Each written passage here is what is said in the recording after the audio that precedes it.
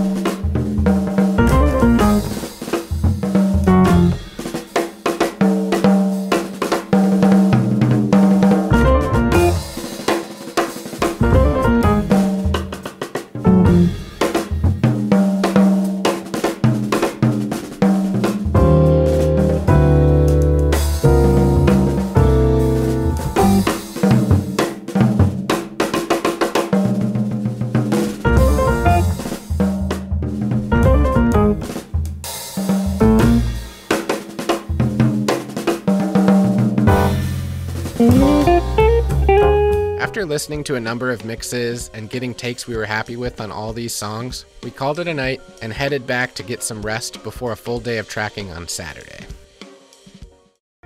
We woke up pretty early on Saturday, and after some updated testing, we found out now that our initial exposure concern was no longer a concern after everyone in question had now tested negative. I think we had mixed feelings at this point because it was a bummer to have to cancel the show, but honestly, I think we were just all relieved we could continue our work without having the weight of this hanging over our heads for the rest of the weekend. On the way to the studio, Jason and I stopped at Racy's to grab some coffee, and this place is an institution in town, so it was great to be back. After grabbing our drinks to go, we made our way over to the studio to begin a full day of tracking. We got in about 10 a.m and with three songs down from last night's session, we had eight remaining to get to. Of course, we knew there was really no chance that we'd be getting through all of them in one day, but we were able to get through five of them all in all. The first tune up, entitled Bill's Waltz, was a nice medium slow waltz that was very much in the spirit of the great jazz pianist, Bill Evans. We tried a few different things with texture using both brushes and sticks, but for the final take that ended up making the record, I stayed on brushes the whole time. I'll add a quick cut of this track here so you can hear what I'm talking about with this Bill Evans approach.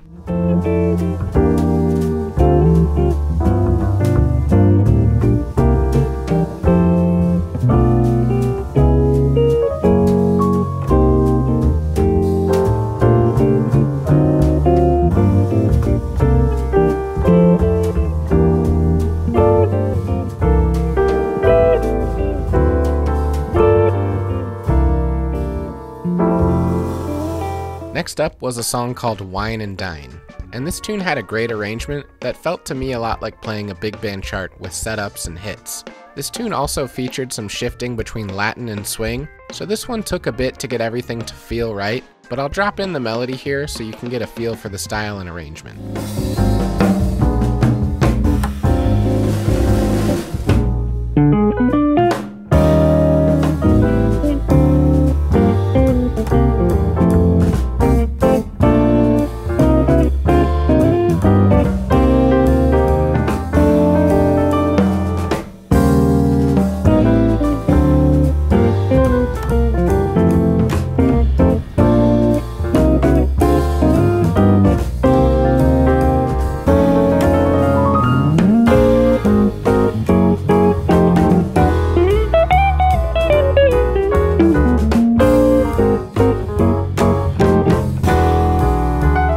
Next, we went on to a tune called Big Chart, and I honestly can't say I have much understanding about the title, but Jason and Kate actually printed out a large version of this lead sheet to use in some pictures associated with the album, and for the guest at the show that never happened. This tune really took a wild turn as we recorded it, and after a number of takes, we ended up having the idea to give it more of an old school feel with that bounce rhythm you'd hear in the older big band dance band era. After switching to this feel, it ended up sticking and being the approach we used for the final take. Check out a bit of that feel here.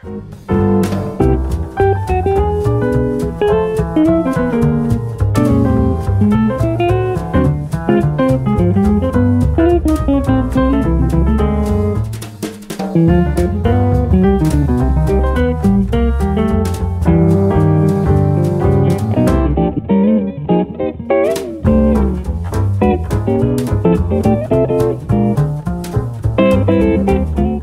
Tune up for the day was originally an upbeat swing tune, but over the summer in the sessions I had with Jason in preparation for this recording, I brought up the idea of it being a samba, and it set really well in this style. The biggest challenge on this tune was probably the outro tag, which has a pretty unique phrasing to it. So I'll drop in a cut of this track with the outhead so you can catch that.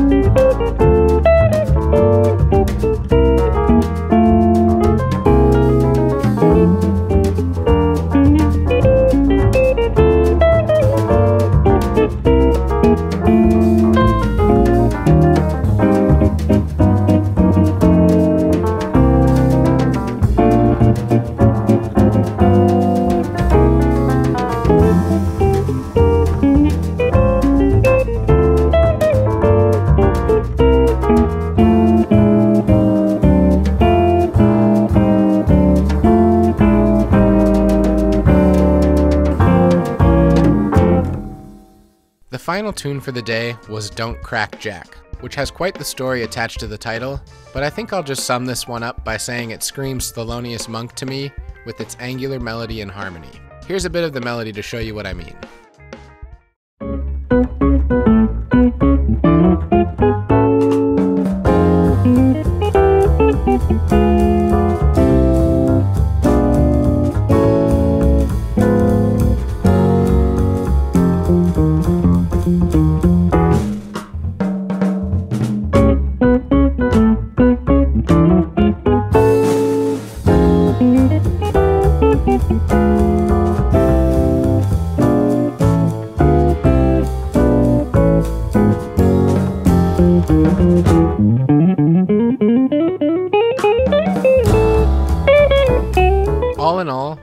About seven hours at the studio this day, and of course, there was plenty of time mixed in between takes where we were able to relax, eat some fresh made chili, listen back to takes, and just enjoy conversation with each other. But overall, this day went by really quickly. After making a quick pit stop at the Airbnb to drop some things off and get changed, I left to head out to the Lakely in downtown Eau Claire, where Josh, Jeremy, and I were going to be playing from 7 to 10 p.m.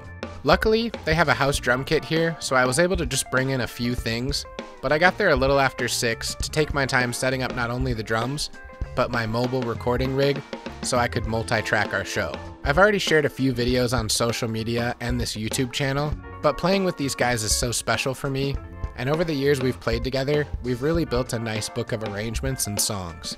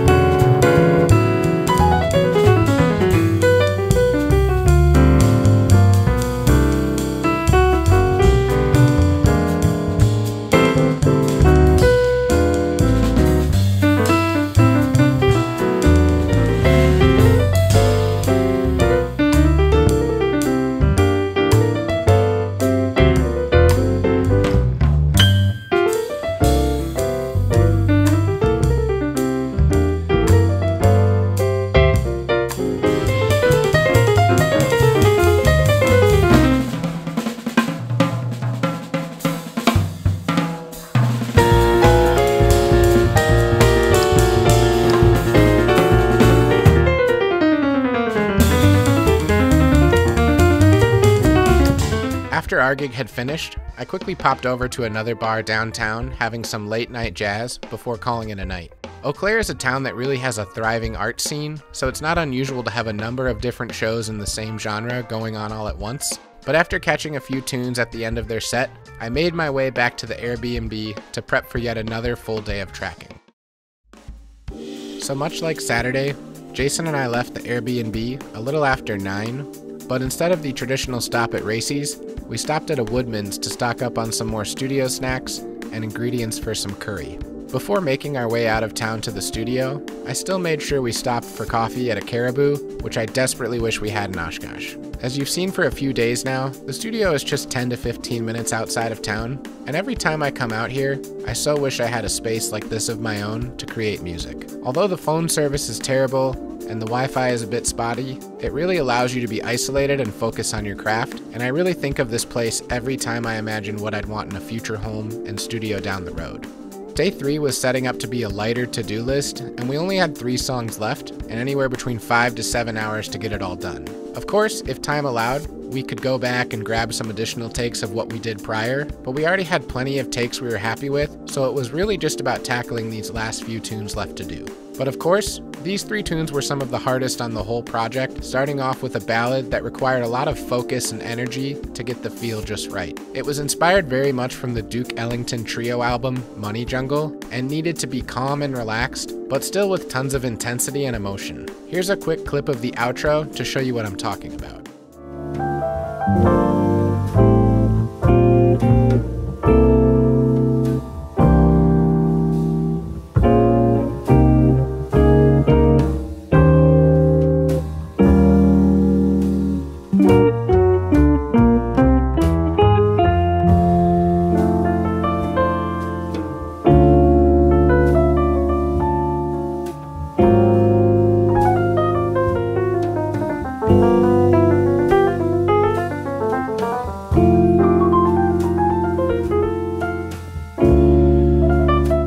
After we wrapped up the ballad, we moved on to one of the more upbeat songs we had, which reminds me a lot of Wes Montgomery and songs like 4 on 6. This tune was especially challenging for me as it features a drum solo first over a bassline vamp and then has some call and response sections between quick sporadic bebop lines. I'll drop in that solo here so you can check it out and see what I mean.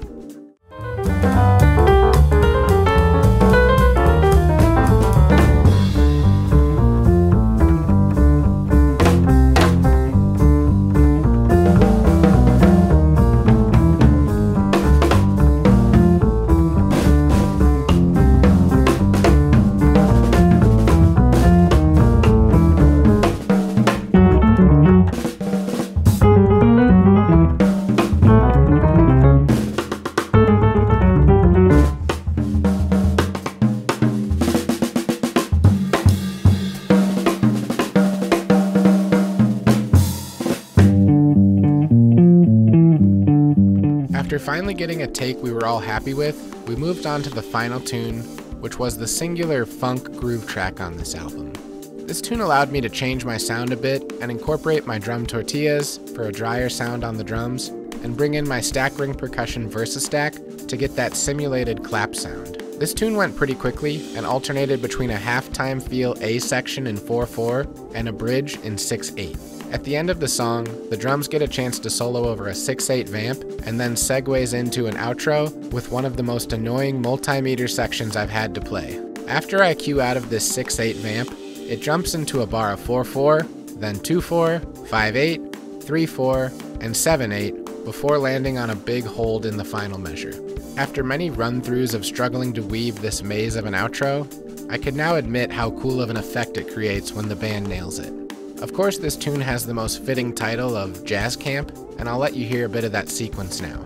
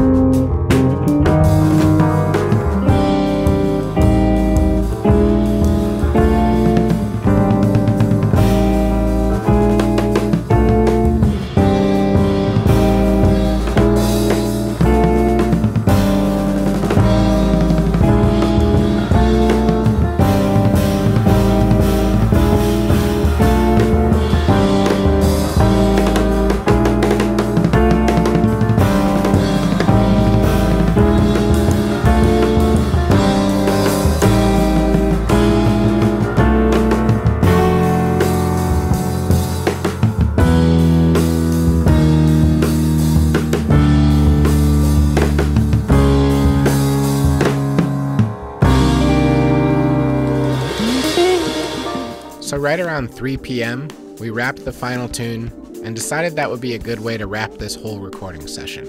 After listening to a few tracks and saying goodbyes, it was time for me to start packing up my drums and all my other equipment. Luckily, this was also right about the time the Packer game was set to kick off, and even through some poor Wi Fi connection, I was still able to catch some of it on my phone. and after five consecutive losses, it was great to see them pull out the overtime victory over the Dallas Cowboys.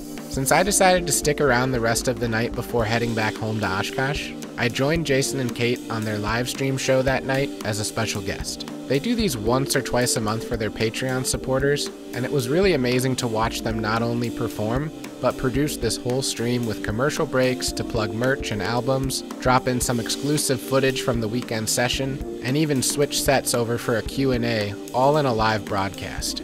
After wrapping up the live stream, we stuck around the studio for a couple hours to celebrate a successful weekend, and then went back to the Airbnb to call it a night and get ready to head back home. After a nice night of sleep, it was time to pack up all my clothes, toiletries, recording equipment, and anything else I had lying around to get loaded up in the car and hit the road back to Oshkosh. I was able to get on the road shortly after 8 a.m., and throughout this 200 mile drive, I had a lot of time to reflect on what an uplifting and fulfilling five days it had been. I'm lucky enough to record and create music with a lot of great people in my area, but very rarely do I get the opportunity to head out of town and just focus entirely on a project without the distraction of day to day life and going home every night. There's something special about this way of doing it, and I hope to have more of these opportunities going forward.